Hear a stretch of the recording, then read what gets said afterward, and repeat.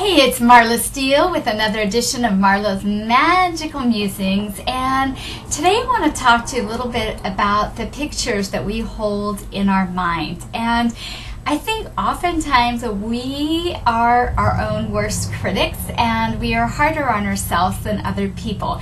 And I discovered this recently. Well, it's something I've always known about myself, but I really discovered it recently when I finally had an opportunity to see myself riding a horse all the years I've been riding, I've never had a video taken of me, and I had a break in my riding, and I just started back again, and I wanted to see what I looked like. And it was very illuminating that I looked much better on the video than I thought, and in the picture that I held in my mind. I thought I was um, flopping all over the place, holding excess tension. I thought my posture was really slumpy. And really, I was impressed at how good it looked on the video and that I can even own that fact and say that and not feel self conscious. So, where in your life are you holding pictures of yourself that are super harsh, judgmental, or maybe out of balance compared to how most people would see you?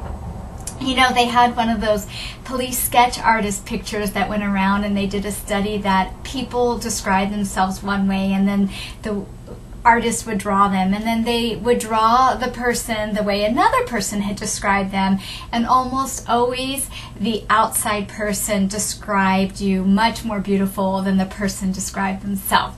So, knowing that, Let's commit today to changing some of our mental pictures, how we see ourselves.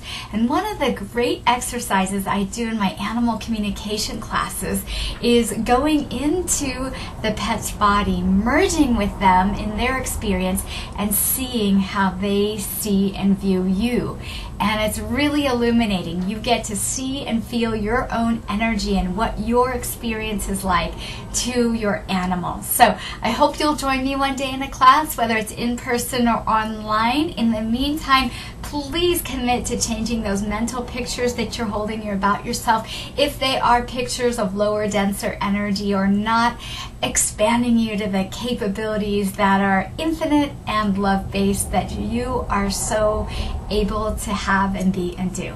Lots of magic to you. Visit my website for more information, and that is healingwithenergy.com.